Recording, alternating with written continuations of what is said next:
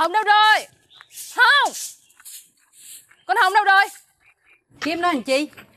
Sao mặt mũi mày hầm hầm vậy? Mẹ coi cái mặt con trâu nè. Con Hồng nó quýnh con trâu bành dập như thế này nè. Trời đất ơi lại đây nội coi coi.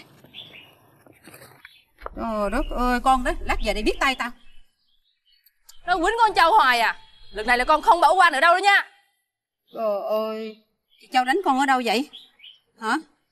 Chị ấy cào vào mặt con Con còn đau không? Được rồi. Chút nữa chị Hồng về nội sẽ đánh chị Hồng cho con coi. Dám đánh cháu cưng của nội ha. Mẹ hay quá. Cứ nói vậy hoài à. Con này á không dạy. Nó cứ quýnh con trâu hoài thì sao? Thôi đi Con nít nó chơi với nhau đánh nhau có chút xíu à. Được rồi để tao la nó. Chị nói con mà mét nội là chị đánh con nữa. Chỉ kêu có ba anh bên chỉ nên không sợ. Cái gì? Nó nói vậy đó hả? Dạ. Một lát con Hồng về đây Tôi đánh tại chỗ Xem bao giờ mày có bên nó nữa không Ai vậy? Cái gì mà đã đánh con Hồng hả? Trời ơi mới sáng sớm là đã nhậu rồi Ờ, tôi hỏi bà, con Hồng nó làm gì bà đòi đánh nó? Ông xem đi Ông xem mặt con trâu nè Đứa con quý hóa của ông quýnh nó đó Nghe cho hỏi nè, con làm gì mà chị Hồng đánh con? Chị qua chơi đồ hại với con Chị nói con chơi anh gian rồi chị đánh con Trời ơi, chuyện con vậy à? Mà bà làm um sùm lên. Đúng rồi Đâu phải con ông đâu mà ông sót Bà, bà, bà nói gì vậy? Cái gì con anh con tôi vậy ở đây nữa đây? Ờ, đó cái chuyện đó tôi nói với bà bao nhiêu lần rồi. Bây giờ bà muốn kiếm chuyện phải không? Con ông thì ông lo Con tôi thì ông đâu có lo Từ lúc ông lấy tôi đến giờ Ông đã lo được gì cho nó chưa Lúc nào cũng con Hồng con Hồng con Hồng Bà bớt làm nhảm tôi cái đi. Tôi lại bà, nó là con tôi, nó không có mẹ thì tôi phải lo cho nó chứ. Ông lo Ông lo Thế ông có dạy được nó không? Mẹ nó không có thì cha nó thì biết là dạy nó chứ. Ê, ý bà nói là là là con tôi mất dạy đó hả? Thôi đi Chị không có gì hết mà tụi bay làm um sùm lên à. Để chút con Hồng về tao la nó. Con đứa nào cũng là con hết trơn hết á. Tại sao lại có con anh con em ở đây chứ? Mẹ coi đó cái chuyện có gì đâu. Nó làm um sùm lên nó là đàn bà. Ba cái chuyện nhỏ nhặt này lấy là tính toán so đo nữa. Ngoái làm to chuyện Ông đó không có gì đúng không? Để đó Lần sau nó còn quýnh con trâu nữa. Tôi đánh tại chỗ cho ông xem. Trời ơi Tụi, thôi mà, thử mày quýnh tao lần. Quýnh con tao hận nữa coi tụi bay định đánh đánh nhau đây mẹ mày luôn đó Cái thằng An này. Mày ta say say xỉn rồi mày về đánh vợ tối ngày vậy chứ. Mày vừa vừa phải phải thôi đi vô trong đi. Bỏ chân tao đó. Mẹ. Còn con Trinh nữa Đi về bển đi. Đã biết nó say xỉn rồi mà còn cãi nhau với nó nữa Đi cho nó đánh hả Đi về Đi về. Con ở đây với nội. Mày ấy nha. Mày không về lát đó Nó mà quýnh mày mà hạ hồng mày khóc với tao nha.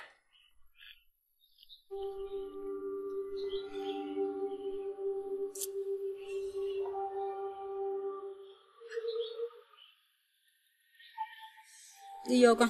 Vô nội rửa mặt cho Rồi ăn cơm với nội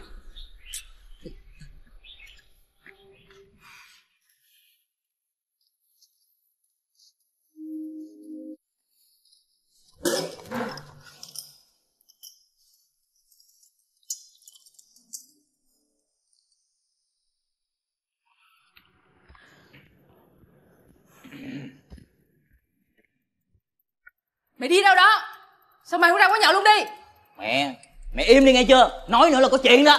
Mày muốn tao yên thì mày cút khỏi nhà tao. Bữa nay mày dám hôn với tao hả?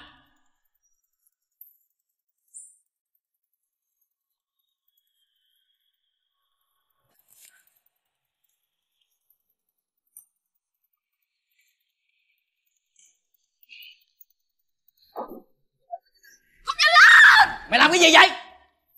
Mày biến nó khỏi nhà tao. Mày làm cái gì vậy hả mày làm cái gì? Trả tiền để cho tao. Tiền của tao mà. Trả lấy. Mày nói tao là con đàn bà đê tiện mà. Giờ tao đê tiện cho mày thấy nè. Trả tiền để cho tao. Trả đi. Trả đi. Trả cho mày nè. Ủa cái gì mày- á Tiền của mày hả? Tiền mà hàng ngày mày rửa tay mày xin tiền tao. Mày tiền răng với cái quần. Mày con mẹ gì mà tiền của mày? Mày hỗn hả? À, Mày quýnh tao đi. Quýnh đi. Mày sao mày? Tao đi mệt về tao muốn được yên tĩnh. Mày không cho tao yên tĩnh. Bây giờ mày muốn cái gì Cô mày bước ra khỏi nhà tao Mày con Tao làm con chó để tao nuôi mày. Tao nuôi con mày. Mày đừng đánh tao để con tao mà mày cút đi Tao. Mày? Mày gì hả mày? Mày đừng có chọc tao nghe chưa? Tao giết mày luôn đó.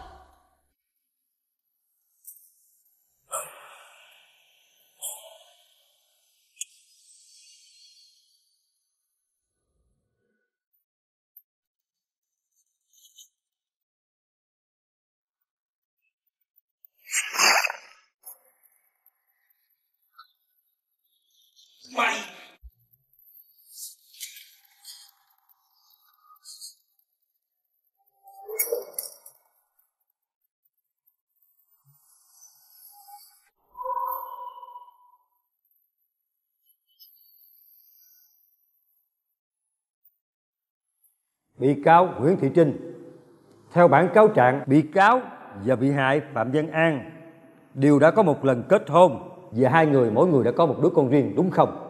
Dạ đúng ạ. Trong thời gian chung sống với nhau, giữa hai người có mâu thuẫn gì hay không? Dạ thưa hội đồng xét xử, chuyện vợ chồng sống với nhau xảy ra mâu thuẫn là chuyện bình thường, nhưng hầu như là chuyện vặt vãnh. Chỉ có chuyện phân biệt con anh qua tôi thì vợ chồng bị cáo mới gây lộn với nhau ạ. Cụ thể là việc đó như thế nào? Dạ thưa, con riêng của bị hại thường ị lớn, ăn hiếp con riêng của bị cáo. Nhiều lần bị cáo đã la mắng, nhưng mà bé Hồng vẫn không thay đổi. Bị hại biết chuyện đó, nhưng vẫn bên con của mình, bất kể đúng hay sai, dẫn đến gây ra mâu thuẫn ạ. Ngoài chuyện con chung con riêng ra thì giữa bị cáo và bị hại thường xuyên cãi vã nhau về vấn đề tiền bạc nữa đúng hay không? Dạ đúng ạ. Ban đầu anh An cũng lo làm ăn, nhưng một thời gian lại độ đốn. Tất cả mọi việc trong gia đình đều một tay bị cáo lo hết. Anh An chỉ biết đi nhậu thôi ạ. Cũng chính vì mâu thuẫn đó mà bị cáo ra tay giết bị hại đúng hay không? Dạ thưa. Dạ thưa hội đồng xét xử. Ngày hôm đó, trong lúc tức giận vì con của bị hại đánh con của bị cáo, nên bị cáo đã dẫn con của mình đến nhà bà nội. Đến đó thì bị cáo gặp anh An, lúc đó anh sỉnh về, anh đã đánh bị cáo. Trong lúc tức giận nên bị cáo mới làm vậy. Trước khi lấy nhau, bị cáo và bị hại có nghĩ tới chuyện lo lắng về cuộc sống chung, cùng gánh vác gia đình, chăm sóc con cái của nhau không? Dạ có. Lúc các con của bị cáo và bị hại còn nhỏ thì mọi chuyện nó đơn giản. Nhưng khi các con lớn lên thì mới nảy sinh những mâu thuẫn. Theo bản cáo trạng, bị cáo cảm thấy con riêng của mình bị chồng đối xử không công bằng như với bé Hồng. Có phải vậy không? Dạ đúng ạ. Vậy còn bị cáo? Bị cáo cảm thấy mình có đối xử với con riêng của chồng như thế nào? Bị cáo có thực sự yêu thương chăm sóc con riêng của chồng như con ruột của mình hay không? Dạ. Dạ có. Bị cáo cũng thương con của của chồng. Bị cáo có chăm sóc con riêng của bị hại. Nhưng thực sự bị cáo vẫn thương con của bị cáo nhiều hơn ạ. Một khi bị cáo đã quyết định gá nghĩa cùng chồng thì phải xem con của chồng như là con ruột của mình. Sao lại giữ suy nghĩ phân biệt con anh, con tôi rồi làm tổn hại đến các bé? Bị cáo cũng là người làm mẹ. Vấn đề này hoàn toàn có thể giải quyết trong êm đẹp. Nhưng bị cáo bảo thủ ý kiến mới gây ra thảm án cho chồng. Hành vi của bị cáo cần phải bị sự trừng trị nghiêm minh của pháp luật để làm gương cho người khác. Mời vị đại diện Viện Kiểm sát. Thưa hội đồng xét xử, Viện Kiểm sát xét thấy hành vi của bị cáo Nguyễn Thị Trinh mang tính chất là côn đồ chỉ vì mâu thuẫn nhỏ mà ra tay sát hại người khác. Nhưng xét thấy bị cáo phạm tội trong trường hợp bị kích động về tinh thần do hành vi trái pháp luật của người bị hại gây ra. Bị cáo đã thành khẩn khai báo ăn năn hối cải, hoàn cảnh bị khó khăn. Còn có hai con nhỏ của bị cáo và bị hại cần phải chăm sóc. Nên Viện Kiểm sát đề nghị hội đồng xét xử tuyên phạt bị cáo Nguyễn Thị Trinh mức án 8 năm tù về tội giết người. Mời vị đại diện Viện Kiểm sát ngồi xuống. Mời đại diện hợp pháp của bị hại, bà Hồ Thị Vinh đứng lên trả lời câu hỏi của hội đồng xét xử. Bà có ý kiến gì về bản cáo trạng luận tội của Viện Kiểm sát dành cho bị cáo Nguyễn Thị Trinh hay không? Thưa hội đồng xét xử, chuyện con dâu tôi giết con trai tôi trong lúc nóng giận, tôi vô cùng đau xót. Vì sự thật chuyện cũng không có gì, chỉ là do các cháu nhỏ đùa giỡn với nhau, rồi va chạm với nhau thôi. Nhưng cũng chính chuyện này đã dẫn đến cái chết của con trai tôi. Tôi rất giận bị cáo. Nhưng vì hai cháu bé Hồng và bé Châu nó còn nhỏ quá. À. Mà tôi thì cũng đã già rồi. Khó mà chăm sóc các cháu được. Cho nên tôi cầu xin hội đồng xét xử hãy giảm nhẹ tội cho bị cáo để bị cáo sớm được trở về mà lo cho các cháu. Mời bà ngồi xuống. Mời người nhà của bị cáo Nguyễn Thị Trinh là ông Nguyễn Văn Cần đứng lên trả lời câu hỏi của hội đồng xét xử. Ông có ý kiến gì về bản cáo trạng về luận tội của viện kiểm sát dành cho bị cáo Nguyễn Thị Trinh hay không? Thưa hội đồng xét xử, vì con gái tôi mất chồng sớm nên khi thấy nó tái giá với bị hại, tôi rất vui mừng. Vì con gái và cháu ngoại của mình có chỗ nương tựa. Không ngờ chỉ vì mâu thuẫn nhỏ nhặt trong cuộc sống vợ chồng chăm lo cho con cái mà hai vợ chồng nói đến xung đột đến nỗi gây ra án mạng như bây giờ. Tôi rất đau lòng tôi cũng xin lỗi gia đình bị hại tôi cũng mong tòa án xem xét giảm án để con tôi sớm được trở về gia đình chăm sóc cho hai con của nó Mời ông ngồi xuống. Bị cáo Nguyễn Thị Trinh, bị cáo được phép nói lời sau cùng trước khi hội đồng xét xử vào nghị án. Dạ thưa hội đồng xét xử Thực sự bị cáo rất là ân hận về cái hành động của mình Chỉ vì một phút nóng giận mà bị cáo đã lấy đi tính mạng của chồng mình Xin hội đồng xét xử giảm án Để bị cáo còn về chăm sóc hai đứa con Bây giờ hội đồng xét xử vào nghị án, giao bị cáo lại cho lực lượng công an quản lý. Mời mọi người đứng lên nghe tòa tuyên án. Sau khi nghị án, hội đồng xét xử xét thấy hành vi của bị cáo Nguyễn Thị Trinh là đặc biệt nghiêm trọng chỉ vì mâu thuẫn nhỏ mà giết chết người khác. Nhưng xét thấy bị cáo phạm tội trong trường hợp bị kích động về tinh thần do hành vi sai trái pháp luật của bị hại gây ra.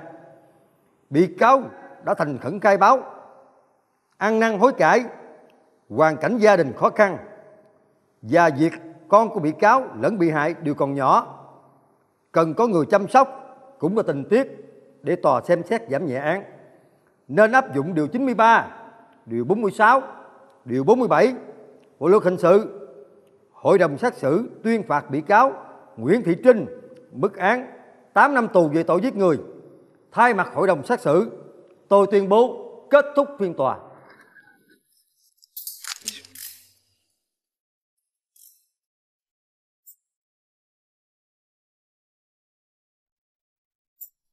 Cái chết thảm thương của người chồng dưới lưỡi dao oan nghiệt trong phút nóng giận của cô vợ đã đẩy cả gia đình họ vào cảnh tang thương. Hai đứa trẻ phút chốc bơ vơ. Làm sao chúng có thể lớn khôn như bao đứa trẻ khác khi mồ côi cha, mẹ lại vướng vòng lao lý. Đó là điều mà tôi trăn trở khi dự khán phiên tòa ngày hôm nay. phía sau những giọt lệ rơi là những ân hận muôn mang phía sau tiếng nấc thương đau là ban an tháng năm dài tăm tối.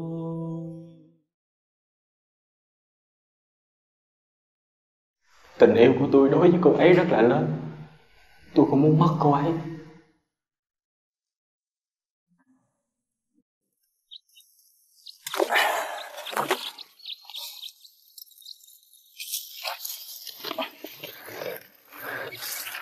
Em Đi chợ mới về hả? Dạ.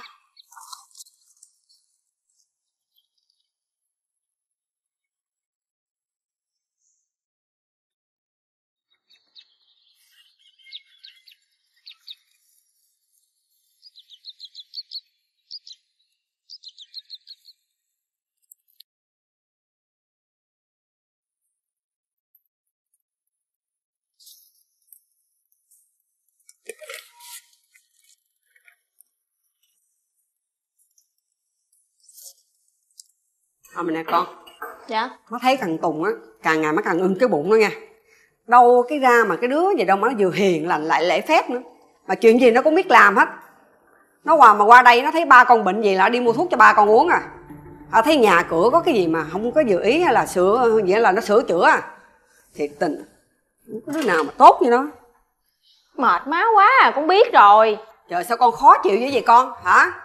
Người như vậy á là khó tìm lắm đó con cố gắng mà giữ nha đào không ra người thứ hai nữa đâu. Mà con nói thiệt với má là con chưa có tính gì hết đó má. Chưa tính cái gì nữa mà chưa tính con hả?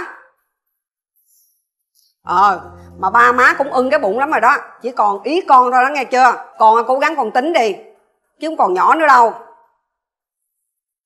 À, dạ bác ơi. Bác. Dạ cây cuốc để đâu? Để con ra cuốc xuống đất cho bác trồng rau. Thôi để đó đi bác làm được mà đi vô rửa tay đi rồi ăn cơm. Bác trai sắp về rồi đó. Đi con.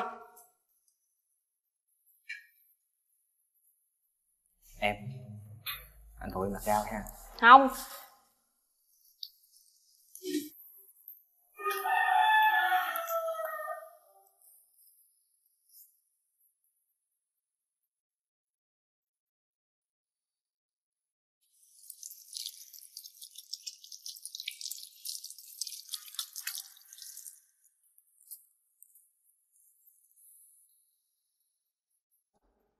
quen nhau gần 5 năm rồi.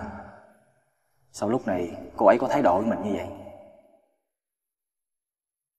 Cổ có ý gì đây?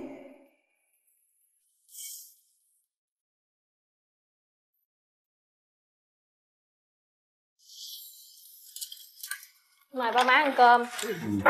Anh ăn cơm. Dạ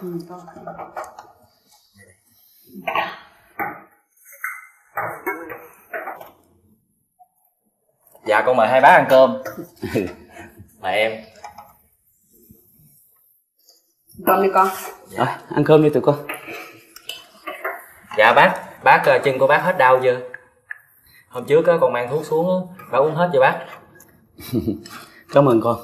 Chân bác á, cũng đỡ đau nhiều lắm rồi. Dạ. Chắc á, là nhờ thuốc của con đem qua đó. Dạ. Mà nè. Gọi ông bác chi cho nghe xa lạ quá. Hai bác ở đây coi con như người trong nhà. Còn khách sao gì nữa đúng rồi đó con.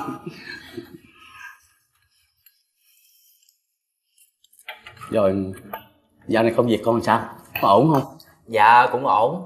Con á bây giờ chuyển lên chi nhánh ở bình dương làm rồi. Bây giờ á con lên chức làm quản lý nên đi hay xa con cũng phải gắng cố gắng.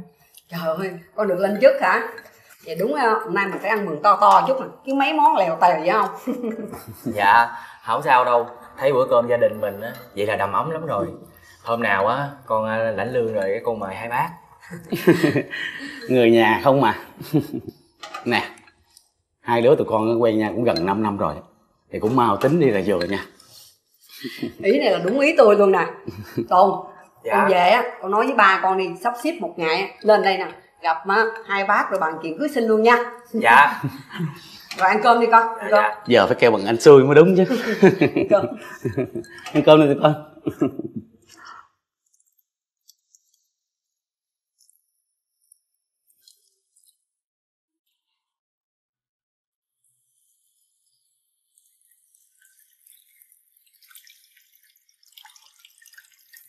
Em để em phụ cho. Hỏi đi anh đi vô trong đi. Em sao hồi nãy á lúc hai bác á, nói chuyện hai đứa mình á em có thái độ gì kỳ vậy? Anh thấy á mình nên cưới nhau được rồi. Thái độ gì đâu. Tại vì em chưa sẵn sàng cho nên là em mới im lặng thôi. Em nói cái gì kỳ vậy? Mình quen nhau 5 năm rồi mà em nói chưa sẵn sàng là sao? 5 năm thì là 5 năm. Chưa sẵn sàng thì em nói là em chưa sẵn sàng lúc hai hai bác á, nói chuyện cưới hỏi em cũng thái độ này nữa. Em không nghĩ đến cảm giác của anh hả duyên? Đó là ba mẹ của em đâu phải ba mẹ của anh đâu. Mà mắc mới vậy em phải nghĩ tới cảm giác của anh. Em nói cái gì kỳ vậy? Dạo này em khác lắm nha duyên. Anh có làm gì sai đâu? Mà em đối xử với anh vậy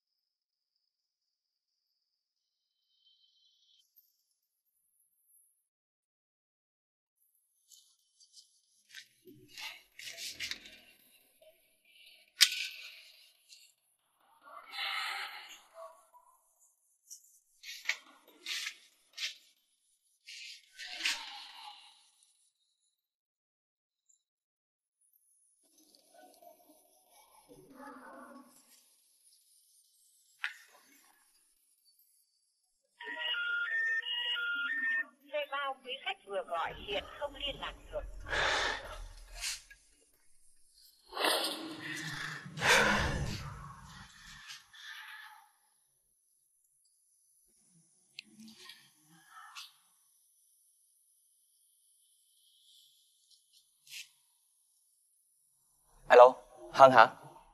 Dạ em nghe anh ơi. ờ à, anh tùng nè em. Dạ. em ơi cho anh hỏi á là mấy ngày nay á em có gặp duyên không vậy? Sao số điện thoại của duyên anh gọi không được? Ủa Duyên nó đổi số rồi nó không báo anh hả? vậy hả? Mà phòng trọ cứ khóa cửa hoài à. Nhà hai bác ở dưới quê á duyên cũng không về nữa. Trời đất ơi, nó cũng chuyển chỗ trọ rồi mà anh. vậy hả? Ờ ờ mà mà em biết phòng trọ của duyên ở đâu không Dạ nó cũng không chịu nói cho em biết nữa hay anh gọi thử ai khác đi. à rồi, rồi em biết số điện thoại mới của duyên không Dạ nó không chịu cho em anh. à, à, rồi cảm ơn em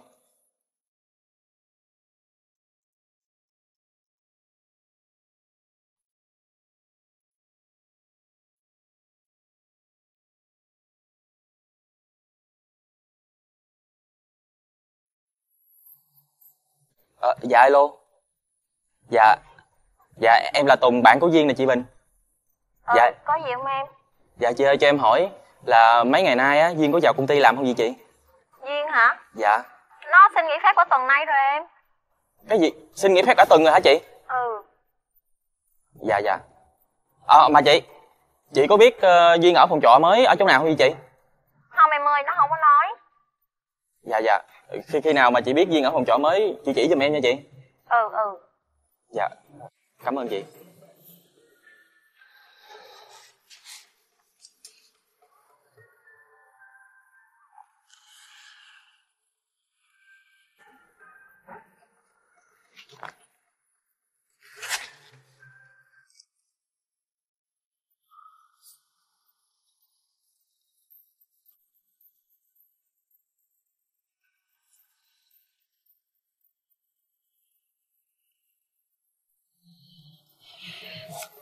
Lúc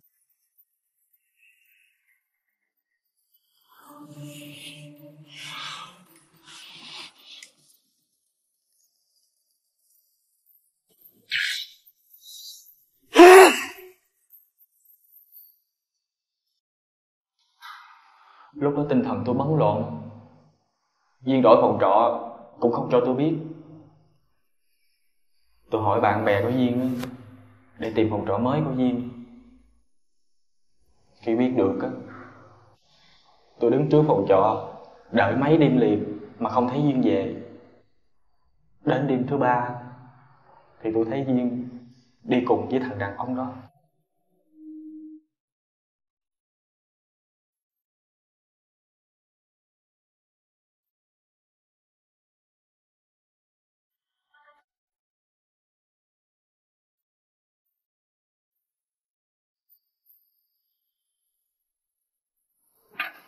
Ủa anh? Anh làm cái gì vậy? Ê làm gì vậy? Mày là thằng nào? Ảnh là đồng nghiệp của em đó. Anh làm cái gì vừa vừa thôi. Hai người mới đâu về. Hả? Tụi em chỉ đi công chuyện thôi. Anh làm gì dữ vậy? Anh Em xin lỗi anh nha. Anh về trước đi. Coi chừng nha. Mày. Anh làm cái gì vậy? Đi vô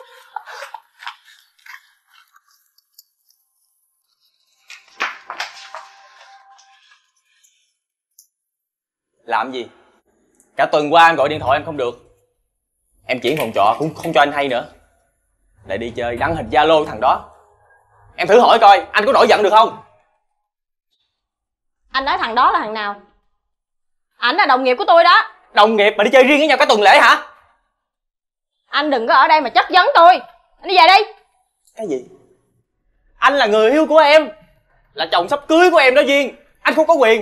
Vậy thì hỏi thằng đó có quyền hả Anh nói gì? Chồng sắp cưới. Chuyện này ở đâu ra vậy? Đúng là ba mẹ tôi hứa Là gả tôi cho anh. Nhưng mà tôi đâu có đồng ý đâu. Ê,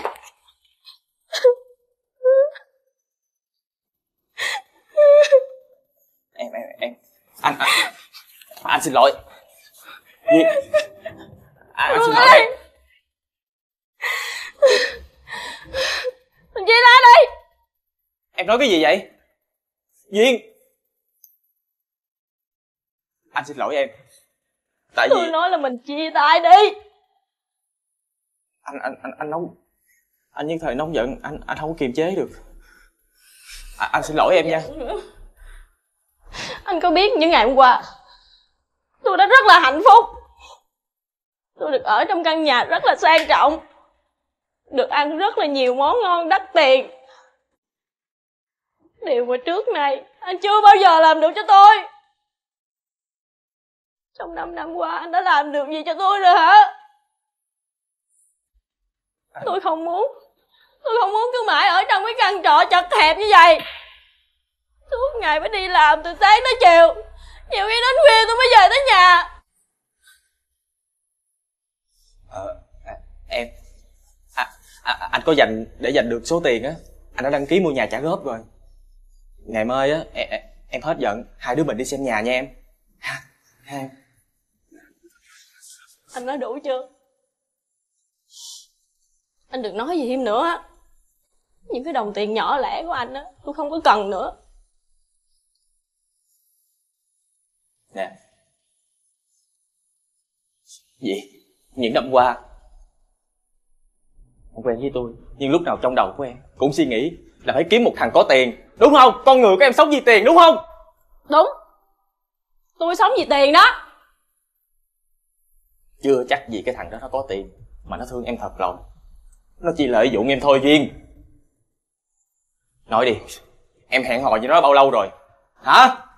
Anh ta có thương tôi thật lòng hay không á tôi không quan tâm. Miễn là anh ta lo cho tôi là được. Còn anh anh lo cho tôi được cái gì? Duyên à em thay đổi rồi. Em không phải là duyên của anh duyên của 5 năm trước nữa. Con duyên của 5 năm trước nó chết rồi. Con duyên của bây giờ nó không bao giờ nghe bất cứ một lời nói nào của anh nữa. Em! Anh định làm gì? Muốn giết tôi hả? Giết tôi đi! Làm không được á cút đi cho tôi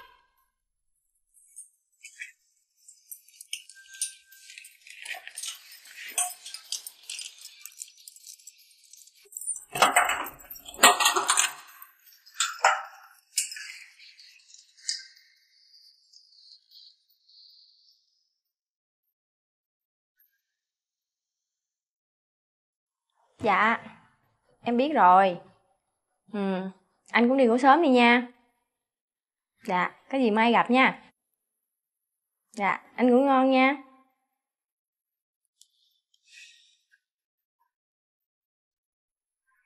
Ai vậy? Anh tùng nè duyên. Duyên ơi, anh muốn nói chuyện với em lần cuối.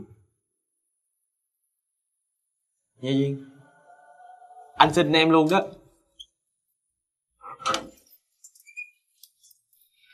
Anh muốn nói gì? Nói lẹ đi. Duyên anh xin lỗi em.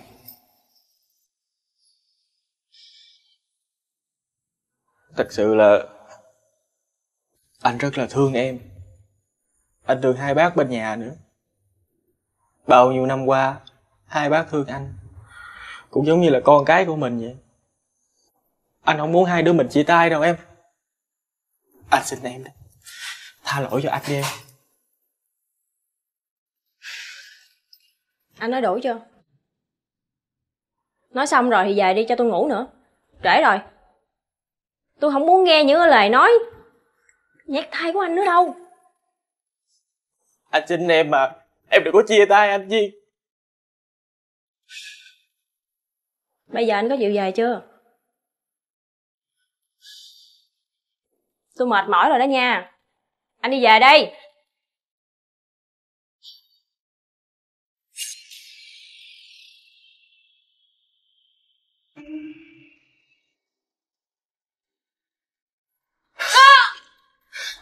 phá tội hả tham tiền à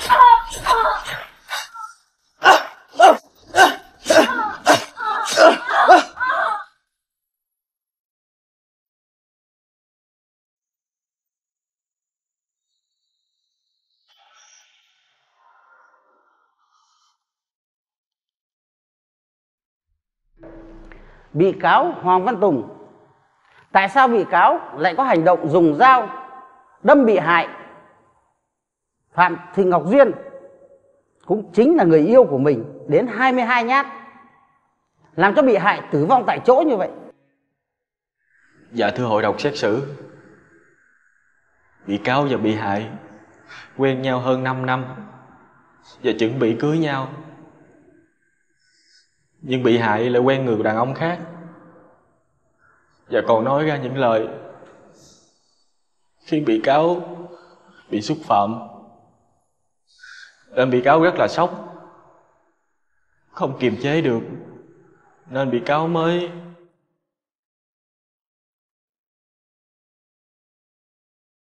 mời vị đại diện viện kiểm sát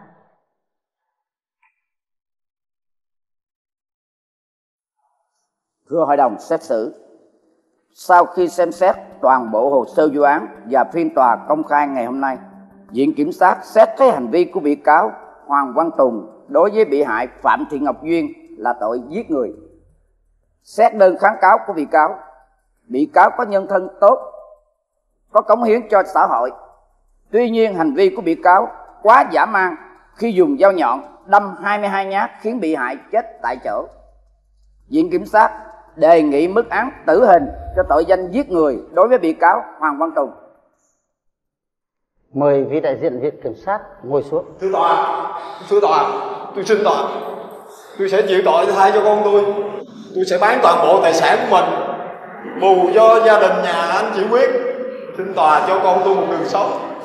Quý tội Tôi cũng xin quý tội cho ông Tùng một con đường sống đi à đề nghị người nhà bị cáo và người nhà bị hại và mọi người trong phiên tòa trật tự để phiên tòa được tiếp tục.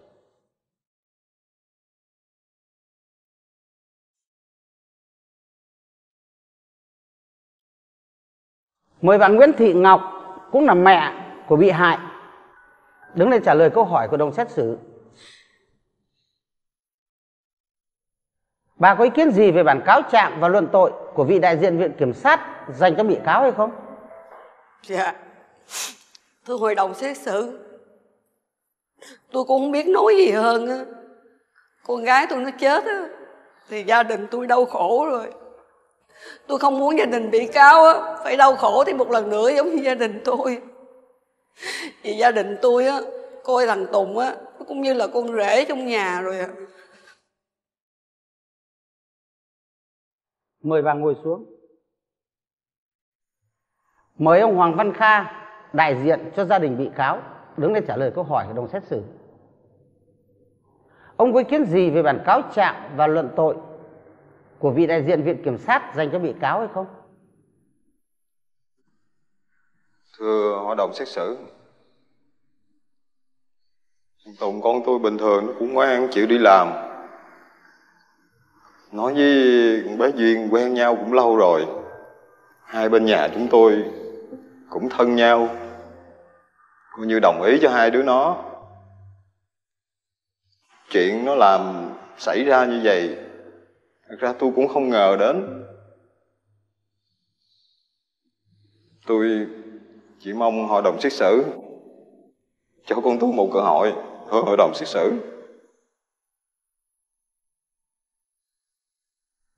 Mời ông ngồi xuống. Bị cáo Hoàng Văn Tùng. Bị cáo được phép nói lời sau cùng trước khi hội đồng xét xử và nghị án.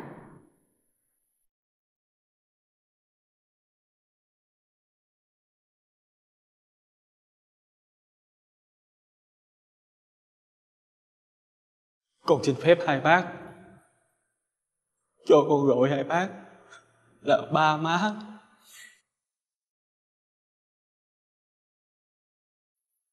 Con xin lỗi ba má. Con sẽ xin viết đơn thi hành án ngay bây giờ. Khi con chết, Con xin ba má hãy cho con cô chôn con cùng với Duyên. Xin lỗi ba mẹ nhiều. Ba. Con xin lỗi ba. Con chưa có báo hiếu gì được cho ba hết ba lại mạnh khỏe các ba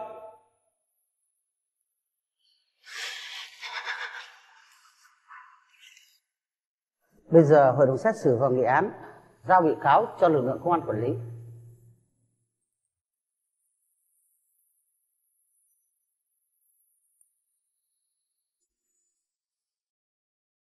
Mời mọi người đứng lên nghe tòa tuyên án.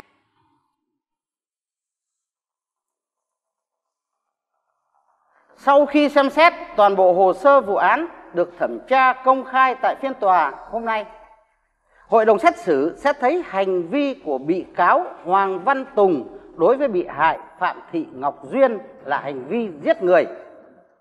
Khi thấy bị hại thay lòng đổi dạ, có một mối quan hệ với người khác và trốn tránh mình, bị cáo đã chất vấn bị hại dẫn đến mâu thuẫn căng thẳng qua lời khai. Bị hại đã có những lời lẽ xúc phạm làm kích động tâm lý của bị cáo trong lúc không kiềm chế được bản thân, bị cáo đã dùng dao đâm 22 nhát vào người bị hại, khiến bị hại chết tại chỗ. Tuy bị cáo có nhân thân tốt, được mọi người yêu mến, nhưng đây là hành vi dã man, vô cùng nguy hiểm. Căn cứ vào Điều 123 Bộ Luật Hình sự, Hội đồng xét xử tuyên phạt bị cáo Hoàng Văn Tùng mức án tử hình về tội giết người Thay mặt hội đồng xét xử, tôi tuyên bố kết thúc phiên tòa. Một gia đình vừa mất đi đứa con gái, lại sắp mất đi người đã yêu thương, đã coi như con rể. Một người cha đơn độc sắp mất đi đứa con trai độc nhất. Phiên tòa kết thúc mà ai trông vào cũng phải xót xa.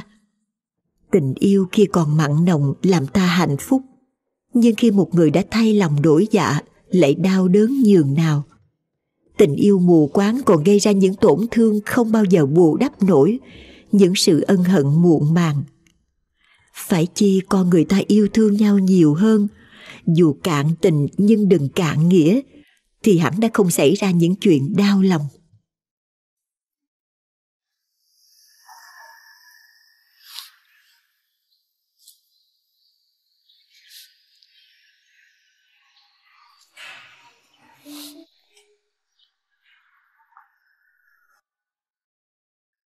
Em chào cô.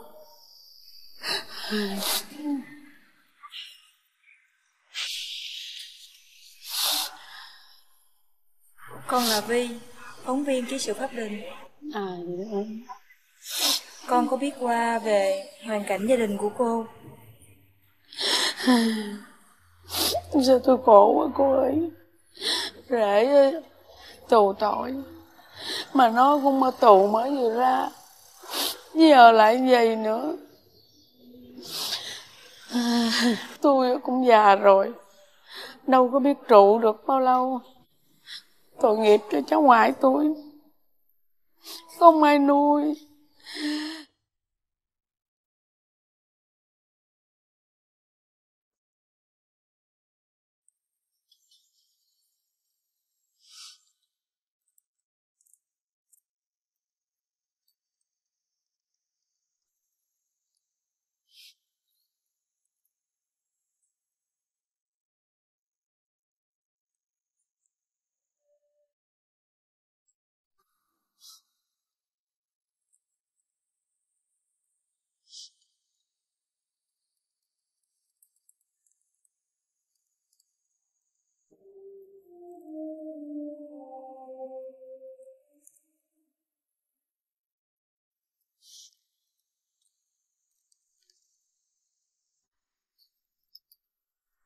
Má! Trời ơi! Con ơi!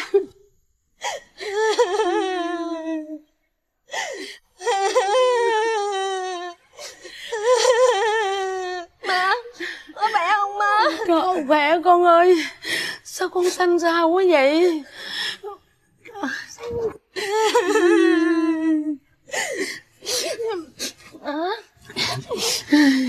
Con gái con đâu má Nó đợi con lâu quá Nó vô nó ngủ rồi. Để con thăm con gái. Đi con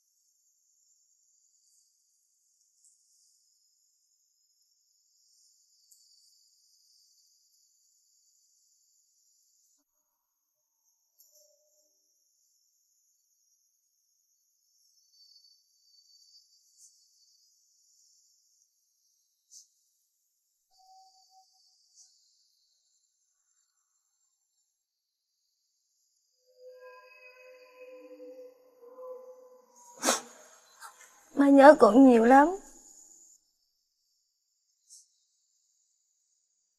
Đi con Để cho cháu nó ngủ. Có gì á Thì sáng mai hãy nói. Con ăn cái gì chưa chưa? Hay là Để má ra má nấu cho con tô mì Con ăn đỡ nghe. Dạ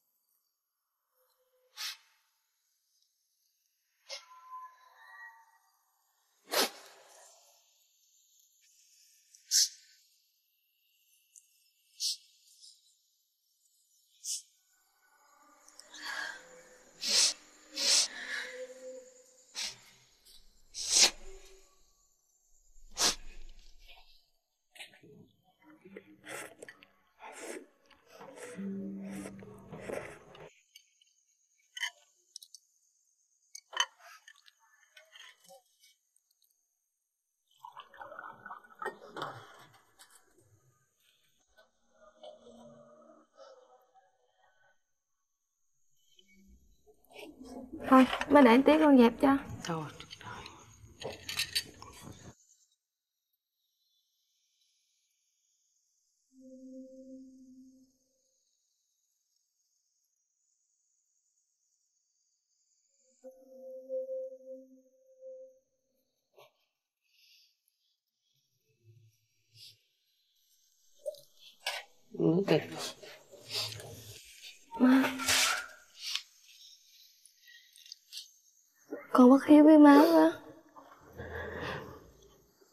Tuổi này rồi Mà con chưa làm gì để cho má hết Chỉ làm phiền phức cho má thôi Hết lần này Tới lần khác Con xin lỗi má Thôi, giờ chuyện đã qua rồi. Quan trọng á là lần này con về, con tìm cái công việc gì á, làm ăn cho nó đàng hoàng. Con đừng có đi vô con đường bán ma tí nữa. Con phải ráng làm sao á, phải nuôi cho con Hằng nó khôn lớn. Nó đã không có cha, là tội nghiệp nó lắm rồi đó con. Dạ Con biết rồi má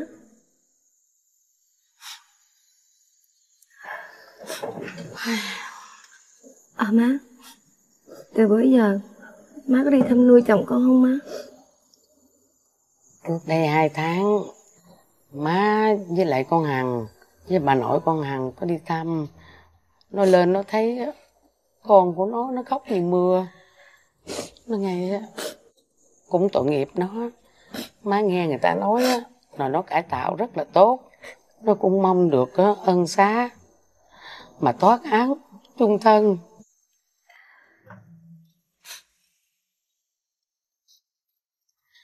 Mà nghĩ đôi lúc cũng thấy thương nó, mà cũng thấy giận. Công việc á, biết bao nhiêu là công chuyện chân chính, mà hai đứa không chịu đi làm, lại đi bán ma tí. Làm giàu đâu không thấy, mà thấy á, tan nhà nát cửa. Khổ thân mình, mà lại khổ thân con cái nữa. Dạ Con biết rồi má Con tính á Vài bữa nữa Dẫn bé Hằng á Đi lên thăm ba nó Cho anh đỡ nhớ À, má thấy cũng đúng rồi đó. Dù sao á, là cũng gần 5 năm rồi. Thôi con vô thăm nó đi, rồi về thăm họ hàng lớn sớm. Rồi đi tìm cái công việc gì làm ăn cho nó đàng hoàng. Nếu như tìm không được việc á, thì con về trồng rau, trồng lúa với má. Nghe không? Dạ Con biết rồi má. Ngày mai Con sẽ ra giường rau phụ má.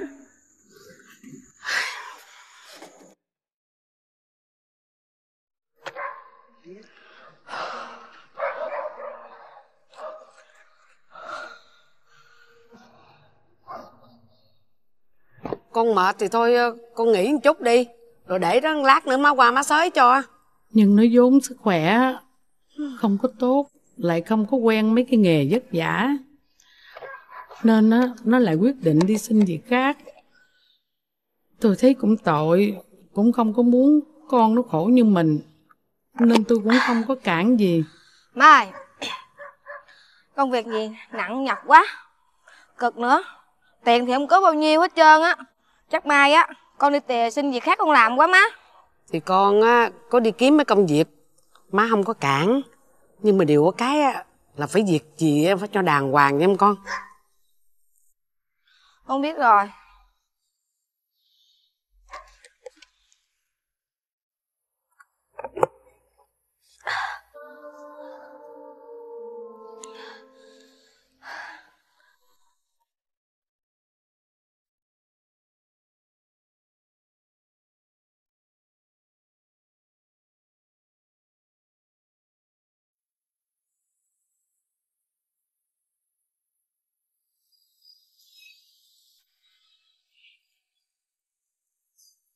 Dạ.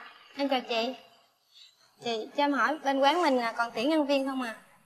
Ừm, còn em. Em qua bàn bên kia ngồi đợi nha. Dạ rồi cảm ơn chị. Chị chị. Cái bà đó bà ấy mới ở tù về đó. Cái gì mới ở tù hả? Ừ. Ờ. à, à em ơi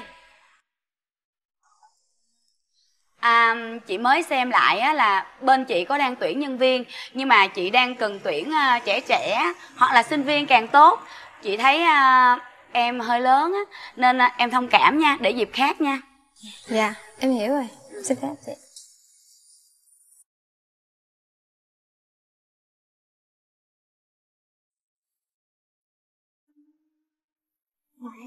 Ông ngoại con con con biết chữ đẹp không ngoại? Chà ơi trời ơi lúc này viết chữ đẹp dữ vậy ta Ơi ngoại cho con tiền đóng học phí được không ngoại? vậy hả Ở trong lớp chỉ có mình con là chưa đóng thôi.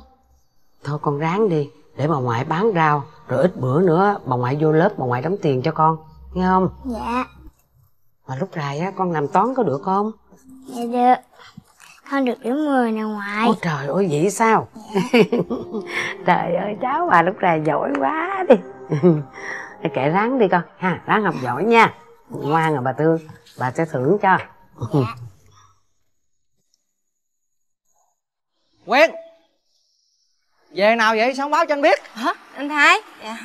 À, Em cũng được về mấy ngày rồi anh. Rồi à, khỏe không?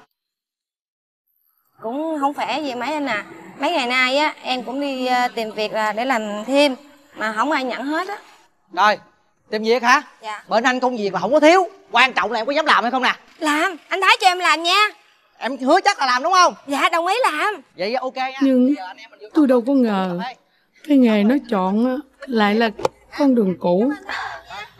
Lại đi bán ma tí nữa. Bị cáo Lương Thanh Quyền Tại sao bị cáo đã từng có tiền án Về tội buôn bán trái phép chất ma túy? Vậy mà sau khi cải tạo ra tù, Bị cáo lại tiếp tục con đường cũ.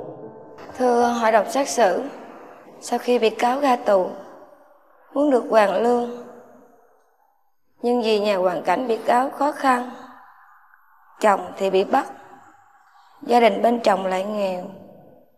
Chỉ có một thân má bị cáo, Nuôi con của bị cáo.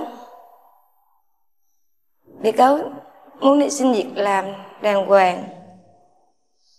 Nhưng Ai cũng kỳ thị bị cáo.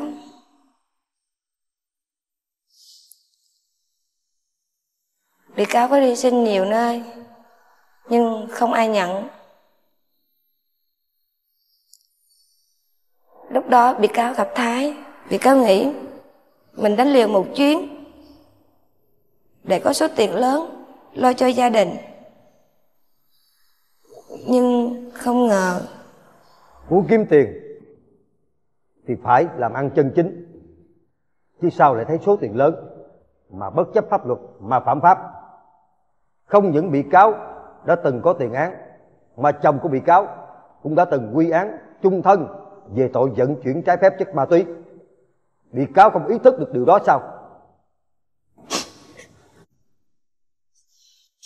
Thưa đồng xét xử, bị cáo rất hối hận. Nếu như lúc đó bị cáo nghe lời má thì sẽ không ra nông nổi như ngày hôm nay. Mời chị đại diện viện kiểm sát. Kính thưa hội đồng xét xử, sau khi xem xét toàn bộ diễn biến vụ án và phiên tòa diễn ra công khai hôm nay, Viện Kiểm sát xét thấy hành vi của bị cáo Lương Thanh Quyền là mua bán trái phép chất ma túy. Đây là hành vi vô cùng nguy hiểm, gây ảnh hưởng lớn đến trật tự an toàn xã hội. Bị cáo đã từng bị kết án cùng với tội danh trên. Nhưng khi mãn hạn tù, thay vì làm ăn chân chính, tìm cách hoàn lương để hòa nhập xã hội, thì bị cáo lại tiếp tục dấn thân vào con đường tội lỗi. Điều này thể hiện sự không biết ăn năn hối cải, coi thường pháp luật nên cần phải xử lý nghiêm. Căn cứ vào điều 251 Bộ luật hình sự, Viện Kiểm sát đề nghị mức phạt tử hình đối với bị cáo Lương Thanh Quyền về tội mua bán trái phép chất ma túy. Mời vị đại diện viện kiểm sát ngồi xuống. Mời bà Lý Thị Yên là đại diện của bị cáo đứng lên trả lời câu hỏi của hội đồng xét xử. Con của bà đã từng một lần xa chân vào ma túy. Vậy mà sau khi cải tạo ra, bà không khuyên ngăn để giúp con hoàn lương mà để con mình tiếp tục tái phạm như vậy. Dạ thưa hội đồng xét xử. Tôi có khuyên con tôi chứ. Tôi là má của nó mà. Là người muốn cho nó hoàn lương hơn ai hết đó. Tôi khuyên con ơi Nếu như con xin việc làm không được á thì đi về trồng lúa trồng rau với má. Bà cháu má con Có gì ăn nấy. Mà nó có chịu nghe tôi đâu nó muốn kiếm thiệt là nhiều tiền để lo cho con nó ăn học đàng hoàng để báo hiếu cho tôi. Bà có ý kiến gì về bản cáo trạng về luận tội của viện kiểm sát? Dành cho bị cáo hay không? dạ thưa hội đồng xét xử xin giảm án cho con tôi. Vì gia đình của tôi rất là đáng thương. Cha ngoại của tôi á, ba của nó án chung thân cũng vì bán ma túy. Rồi giờ tới má của nó lại án tử hình nhìn cha của tôi rất là đáng thương. Xin hội đồng xét xử xem xét lại. Mời bà ngồi xuống. Bị cáo Lương Thanh Quyền. Bị cáo được phép nói lời sau cùng trước khi hội đồng xét xử vào nghị án. Thưa hội đồng xét xử Bị cáo biết lỗi của bị cáo rồi Mong hội đồng xét xử Cho bị cáo một con đường sống Để bị cáo về Chăm sóc mẹ già Với con thơ à Bây giờ hội đồng xét xử vào nghị án, giao bị cáo lại cho lực lượng công an quản lý. Sau khi xem xét toàn bộ diễn biến vụ án và phiên tòa được xét xử công khai ngày hôm nay, hội đồng xét xử xét thấy hành vi của bị cáo Lương Thanh Quyền là mua bán trái phép chất ma túy. Bị cáo đã từng phạm tội một lần, nhưng sau khi ra tù không tìm cách hoàn lương, tìm công việc chân chính mà lại tiếp tục phạm pháp. Đây là hành vi coi thường pháp luật, cần được xử lý nghiêm khắc. Nhưng xét thấy bị cáo có trình độ học vấn thấp, sau khi bị bắt đã ăn năn hối cải, thành khẩn khai báo với tính chất khoan hồng, nhân văn của pháp luật, áp dụng điều 251 Bộ luật hình sự, hội đồng xét xử tuyên phạt bị cáo Lương Thanh Quyền chung thân về tội mua bán trái phép chất ma túy. Thay mặt hội đồng xét xử, tôi tuyên bố kết thúc phiên tòa.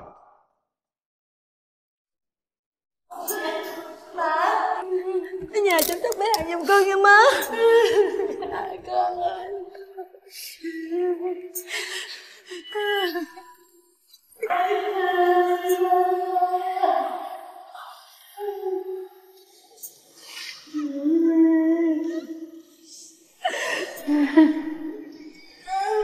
Cô ơi, cô bình tĩnh lại nha cô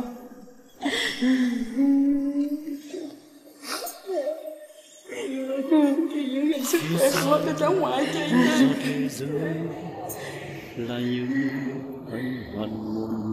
Nhìn người mẹ đã lớn tuổi lần thứ hai đến phiên tòa xét xử con gái khiến tôi không khỏi chạnh lòng.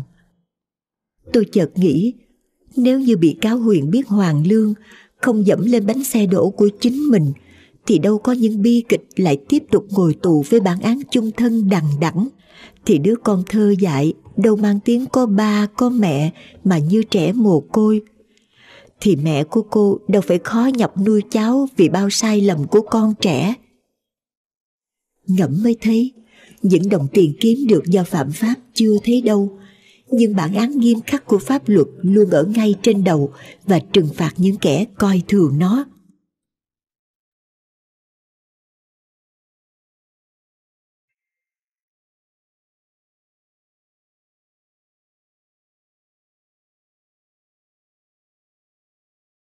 Út ơi!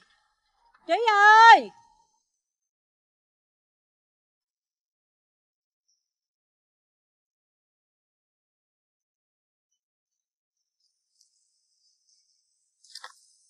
Bỏ nhà đi nhậu nữa rồi. Cái chìa khóa Ủa? đâu rồi ta? Má! Má mới về hả? Ủa sao con bỏ học vậy Má biết con nghỉ học á Má mới về đây liền đó. Tại con không muốn đi học nữa mà má. Con xạo với má đúng không? Con chăm học lắm. Con học tốt. Má xin nhà trường á cho con đi học lại. Phải ba bắt con bỏ học không?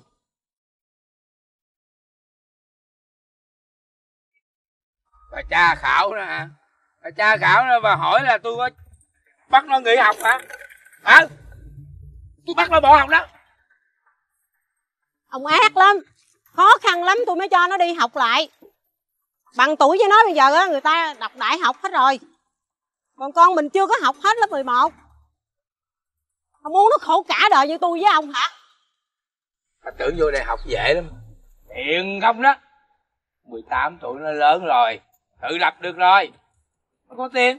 Còn mấy đứa em nó thì sao? Nó cũng cần phải đi học chứ. Ba má đừng có gây nhau nữa con quyết định rồi. Đợt này con lên thành phố, Xin việc làm, Kiếm tiền lo cho mấy em. Với lại, Bệnh của ba cũng nặng. Tiền thuốc không có ít đâu. Không ích kỷ lắm. Tiền á rượu chè của ông á hả? Thuốc men của ông á hả? Cũng đủ thừa để cho mấy cái lũ trẻ nó đi học rồi. Ông biết á là thằng Trí nó chăm học cỡ nào. Nó học có thua ai trong lớp đâu. Ông là người cha không có ra gì.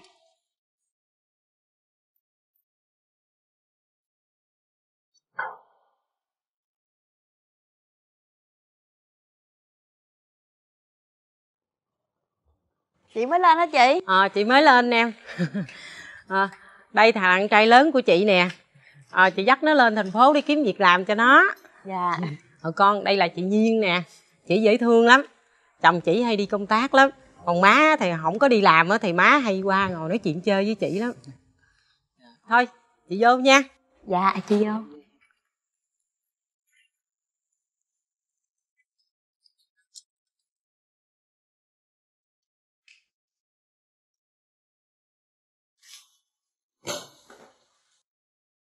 Đói bụng rồi phải không? Ngồi nghỉ đi, Để má nấu cơm cho ăn.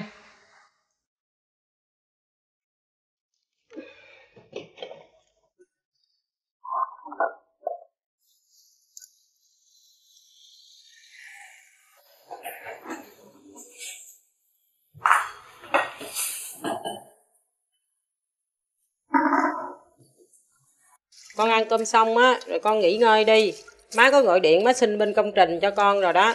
Ngày mai á má đưa con qua bển rồi à, làm. Ủa? Làm phù hộ hả má? Chứ học có có nơi đến chốn đâu.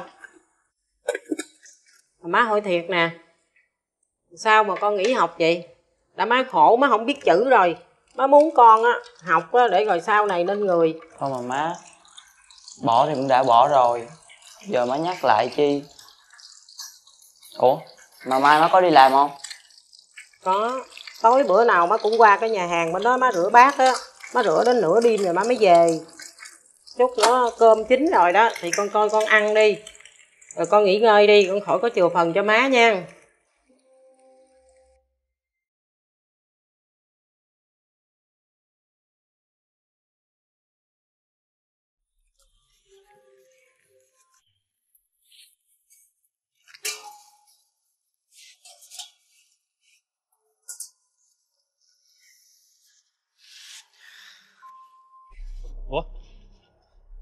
Sao vậy? Việt À, dạ không anh em không sao hết. Mọi người cũng về hết rồi. Thôi em ờ, dọn dẹp sơ này vô đi ha. Dạ dạ dạ. Ừ, để nè. để em dọn sơ. À mà anh ơi. Gì trí à, bây giờ trong túi em không còn đồng nào hết trơn á. Với lại mẹ em mới về quê lo cho ba em nữa. Anh cho em mướn trước ít lương được không anh? Đâu có được em. Em mới làm có một tuần rồi mà. Ở đây á, anh trả lương ờ, công nhân theo tháng tới tháng thì mới lãnh được nha. Dạ.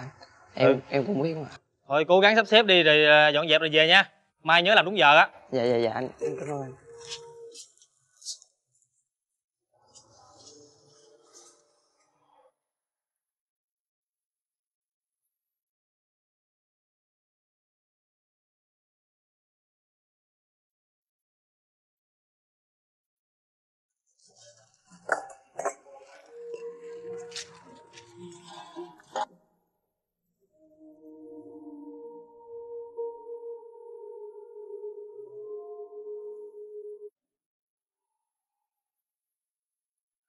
Rồi rồi tao ra liền mà. Ừ ừ ừ nha.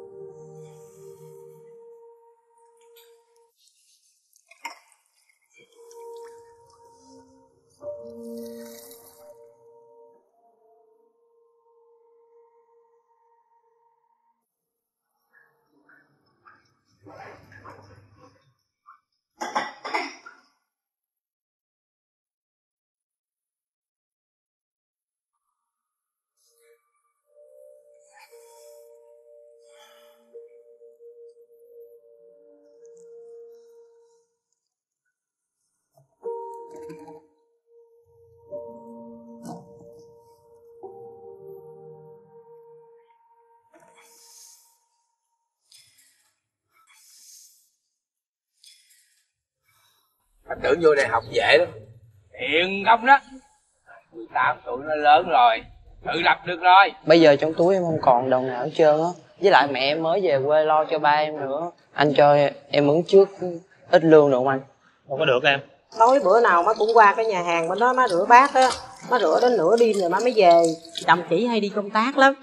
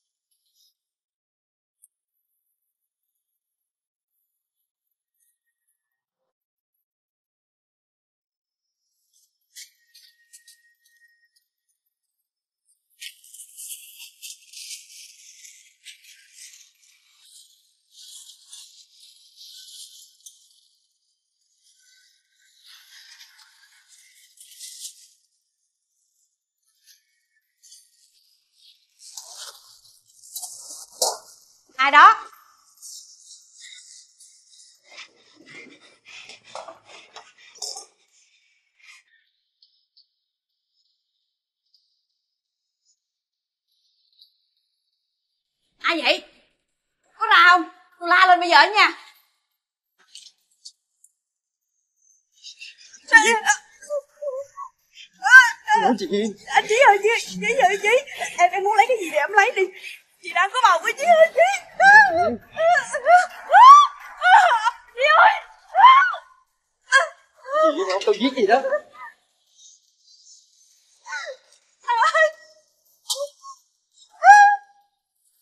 Chí ơi chí chị đang có thai đó chí ơi đừng ơi chơi chị ơi chị chị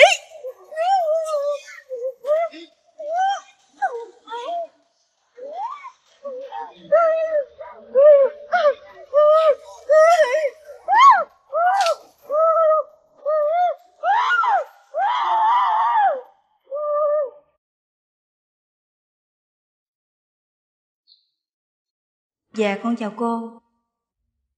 Con là phóng viên ký sự pháp định con ngồi nói chuyện với cô một chút được không cô?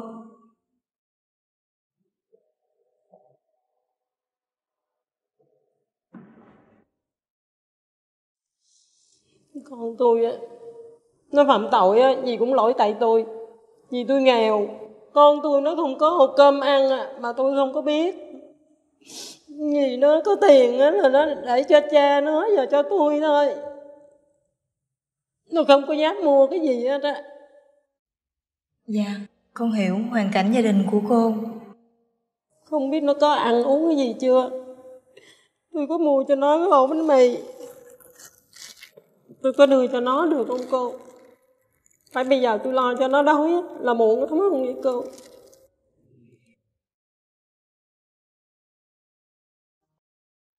Bị cáo Hồ Minh Trí tại sao bị cáo lại có hành động trộm cướp tài sản là sợi dây chuyền vàng và uy hiếp tinh thần của bị hại là chị Lê Thủy Nhiên.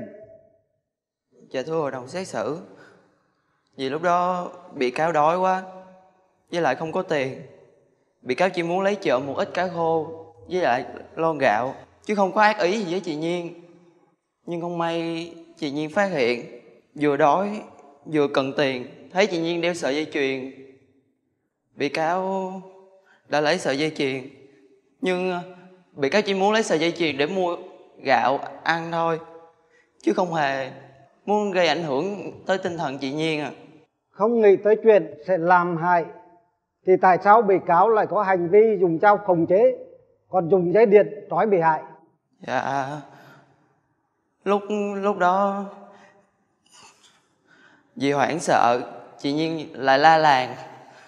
Bị cáo Bị cáo hoảng sợ Nên lấy dao để khống chế chị Nhiên Rồi dùng dây chói chị Nhiên lại Để chị Nhiên khỏi dí theo à mời vị đại diện viện kiểm sát. Kính thưa hội đồng xét xử, sau khi xem xét toàn bộ diễn biến vụ án và phiên tòa xét xử công khai hôm nay, Viện Kiểm sát xét thấy hành vi của bị cáo Hồ Minh Trí đối với bị hại Lê Thùy Nhiên là cướp tài sản. Tuy nhiên, sau khi thực hiện hành vi trộm tài sản, bị hại bắt gặp được. Bị cáo đã dùng vũ lực và đe dọa uy hiếp bị hại, khống chế bằng dao và dùng dây điện trói bị hại. Đây là hành vi coi thường pháp luật nên cần được xử lý nghiêm. Tuy nhiên, xét bị cáo có hoàn cảnh khó khăn, phạm tội mang tính tự phát và ăn năn hối cải, nên căn cứ vào Điều 168 Bộ Luật Hình sự, Viện Kiểm sát đề nghị mức hình phạt 8 năm tù đối với bị cáo Hồ Minh Trí về tội cướp tài sản. mời chị Lê Thúy Nhiên là bị hại trong vụ án đứng lên trả lời câu hỏi của hội đồng xét xử. Bị hại và bị cáo có quen biết nhau từ trước không? Dạ thưa hội đồng xét xử. Tôi có quen biết với má của Trí.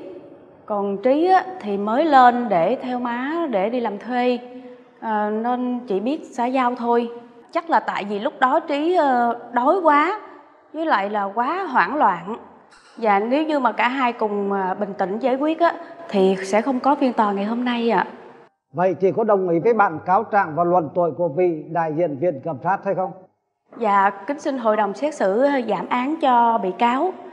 Vì hoàn cảnh em ấy cũng nghèo, lại không phải là người xấu. Riêng tôi thì cũng không ờ, đòi bồi thường gì hết Nên kính xin hội đồng xét xử ờ, giảm án cho em ấy để về ờ, với gia đình sớm ạ. Hội đồng xét xử sẽ xem xét đề nghị của chị. Mời chị ngồi xuống. Mời bà Nguyễn Thị Út là mẹ của bị cáo đứng lên trả lời câu hỏi của hội đồng xét xử. Bà có đồng ý bản cáo trạng và luận tội của viện kiểm sát hay không? Dạ, kính thưa hội đồng xét xử Dạ, giảm án nhẹ cho con trai của tôi. Vì nó còn trẻ, nó bồng bột. Nó hiền lắm nhưng nó có hiếu lắm. Đáng lẽ ra tội của nó là tôi phải gánh chịu. Chỉ vì làm cha, làm mẹ Mà không lo cho con được. Nên con tôi nó đi ăn trộm. Như tôi kính mong hội đồng xét xử xem xét và giảm án nhẹ cho con của tôi ạ. Mời bà ngồi xuống bị cáo trí Bị cáo được phép nói lời sau cùng trước khi hội đồng xét xử vào nghị án. Em xin lỗi chị Nhiên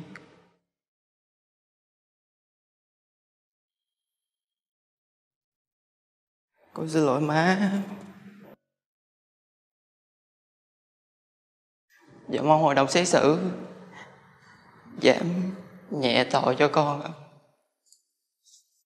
Bây giờ hội đồng xét xử vào nghị án giao bị cáo lại cho lực lượng công an quản lý.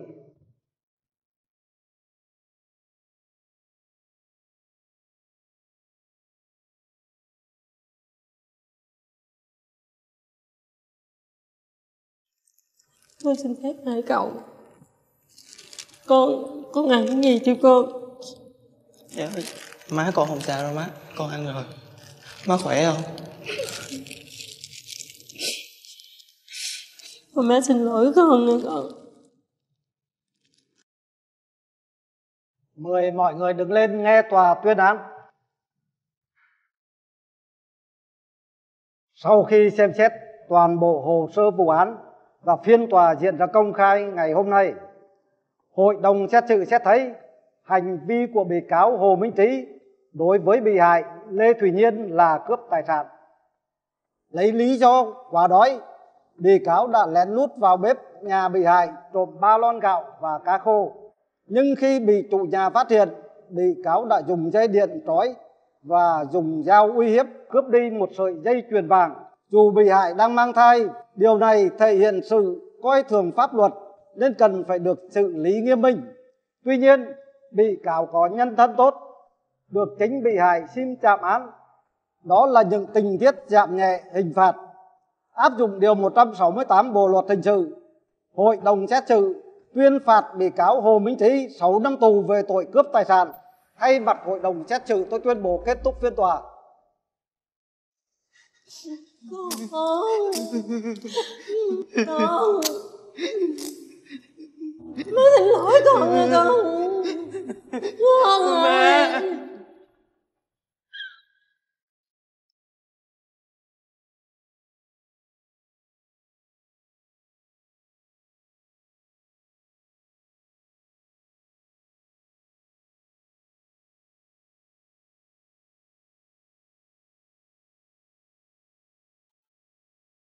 Chỉ vì nghèo, đói và Phúc không kiểm soát được hành vi mà bị cáo trí từ một thanh niên có hiếu, ngoan hiền đã đẩy chính mình vào vòng lao lý. Ba lon gạo, vài con cá khô và một dây chuyền, đổi lấy sáu năm tự do. Pháp luật luôn công tâm và đây cũng chính là bài học cho những ai có suy nghĩ bất chấp luật pháp thực hiện tới cùng hành vi phạm tội. Chỉ với vài phút giây mất đi lý trí thì cái giá phải trả là những tháng năm dài sau song sắt.